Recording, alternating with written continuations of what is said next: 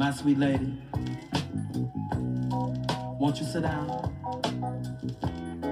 Go ahead, pull up a chair.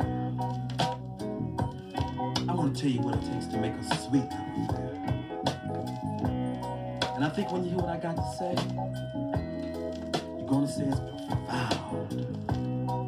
It's about the ingredients of love and how it makes a sweet love affair. Listen, baby.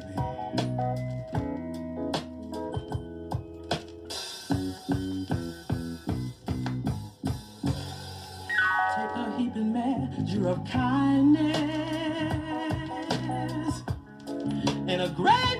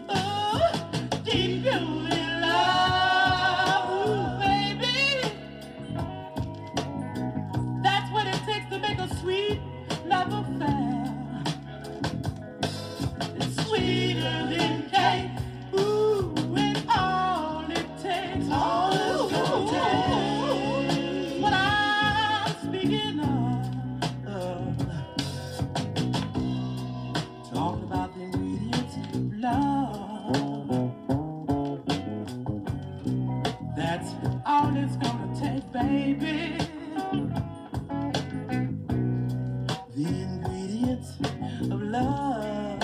Ingredients of love. Mix it all together and you'll get true love back. No fake, baby.